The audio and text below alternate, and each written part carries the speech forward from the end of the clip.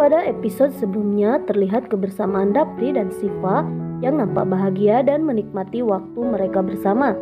Dapri mengatakan dalam hatinya tentang perasaan cintanya pada Alina telah hilang dan saat ini hanya Siva yang ada dalam hati Dapri. Karena itu Dapri merasa sangat berat hati untuk melakukan perceraian dengan Siva.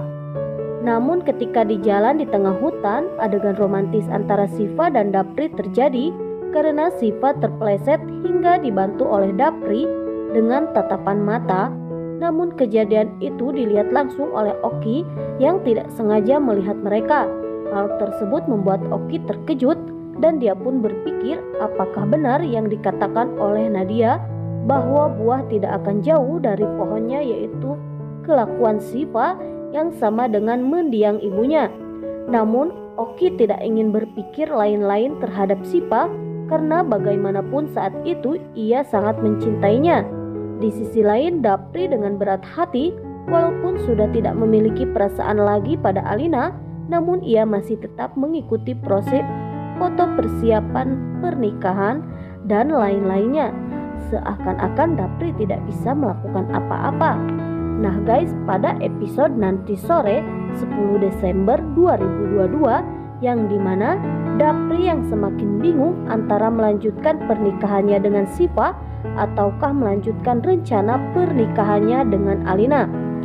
Karena bagaimanapun juga Dapri dan Alina sudah bersama-sama sejak remaja.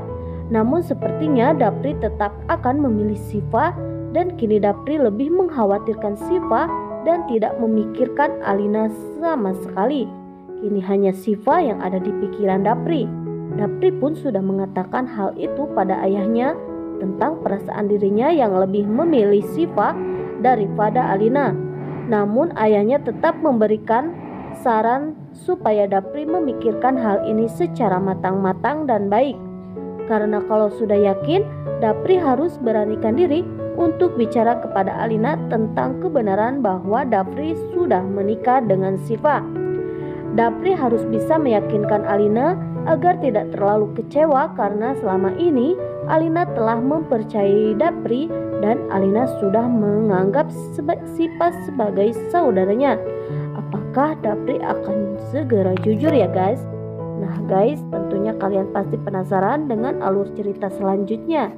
Jangan lupa saksikan alur cerita selanjutnya dari sinetron Tajwi Cinta tayang setiap hari pukul 17.00 hanya di SCTV.